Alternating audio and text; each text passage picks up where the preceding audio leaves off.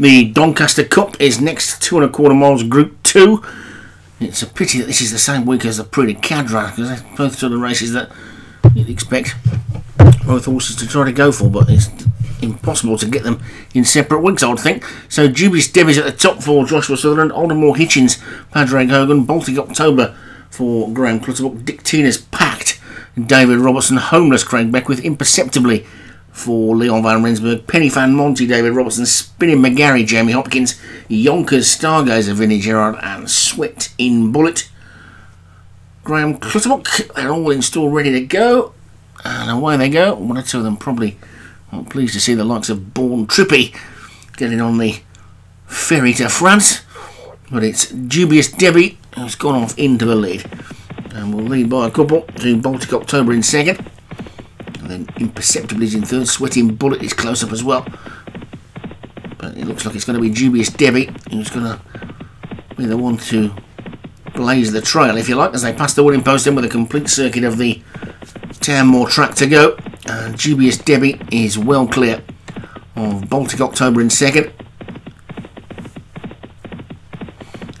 And a big group of them disputing third who are all pretty much out of shot at this point. As Dubious Debbie is going to ensure that this is a proper stiff test of stamina. Two and a quarter miles. And Dubious Debbie in the lead. Halfway distance between the Ascot Gold Cup and the Goodwood Cup, of course.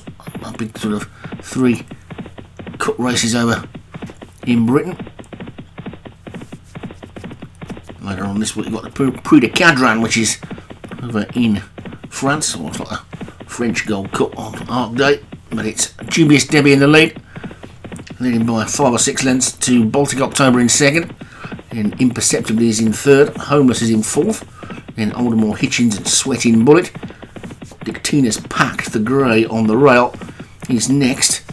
Then Yonker Stargazer in the green, the second of the greys, and again in David Rawson's colours is Penny Fan Monty, and the back marker is just Spinning McGarry. But it's Dubious Debbie who's going to lead them into the final 10 furlongs, leading by about four lengths or so to Baltic October, who's in second and a similar distance ahead of Imperceptibly and Aldermore Hitchens. Between those two, Homeless is next. Then on the outside of them, Sweating Bullet, Penny Fan Monty, the grey on the wide outside, the grey on the inside is Dictina's Pact. And between them, in the two shades of green, Yonker Stargazer, and then Spinning McGarry in the purple with the white seems a couple of lengths adrift of the rest of them. But Dubious Debbie races downhill and into the final mile with a clear lead. Not really been headed yet. Baltic October is in second, Imperceptibly is third, and Aldermore Hitchens and Homeless are next. The order has not really changed much throughout the race so far. And Dubious Debbie is hoping it will stay pretty much like that throughout. But the lead is now down to little more than two. Baltic October is the one that's closing imperceptibly. Still four lengths back in third. Then the two greys are coming.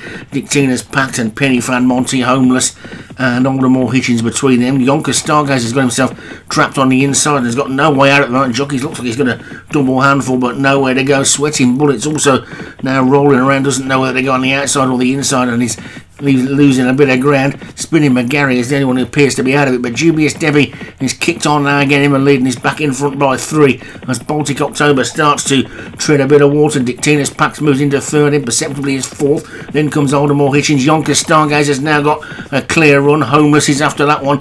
Penny Fan Monty is trying to run on, but Dubious Debbie could have slipped the field here into the final two furlongs shortly. And it's Dubious Debbie who's in front. Imperceptibly just goes into second. Baltic October. Here comes Yonker Stargazer. Has now got a clear run. Aldermore Hitchens is also flying as well as Dubious Debbie hits the wall. And here comes Yonker Stargazer. Yonker Stargazer is beginning to get up. And Yonker Stargazer, it's got to be from Aldermore Hitchens as they race inside the final furlong. It's Yonker Stargazer who's pulling away, in fact, up towards the line. Yonker Stargazer takes it. It's going to be close for second, imperceptibly in Dictina's Pact.